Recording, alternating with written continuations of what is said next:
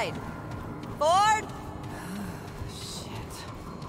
Where are you guys? This is all insane. Both the Crystal and Ford. Better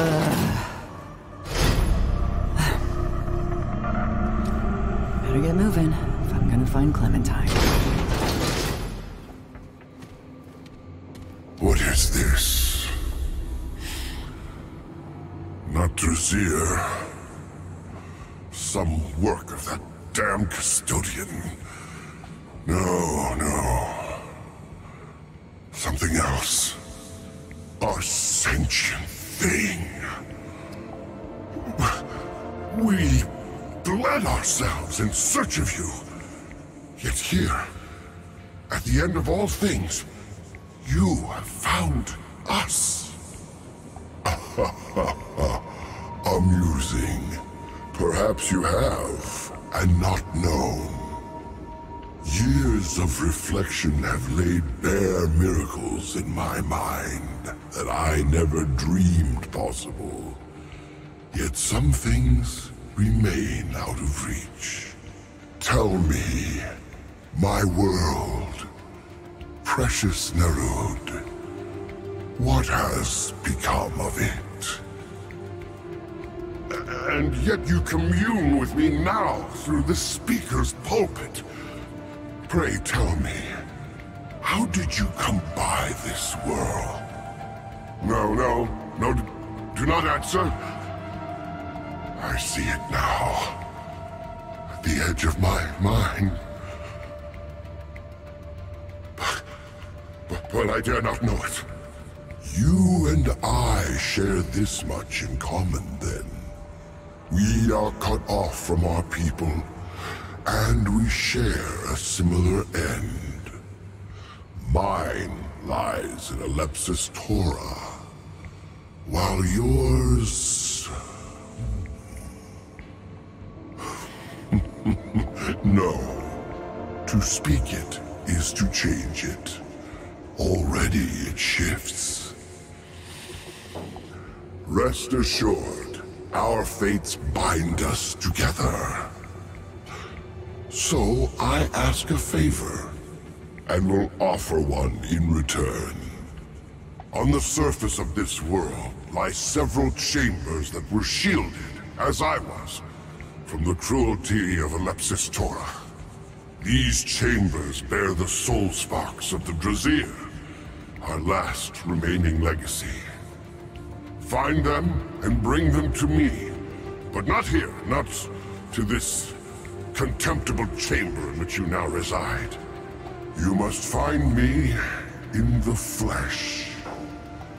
My temple can be found within the wastes above. Look for the all-seeing eye of the astral paths. Bring me the soul sparks, and we will speak further. Excellent. Know that the fate of the Drzyr rests on your shoulders.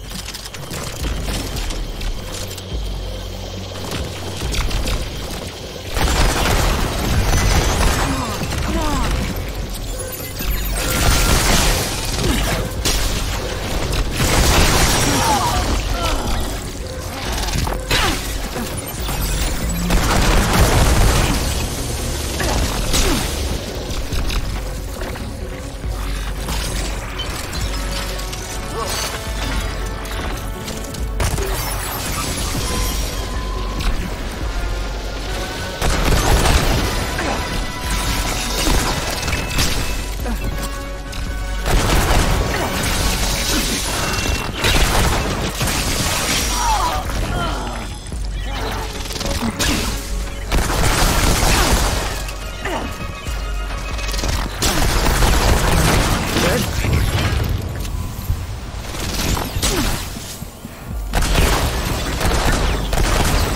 right, come and get some.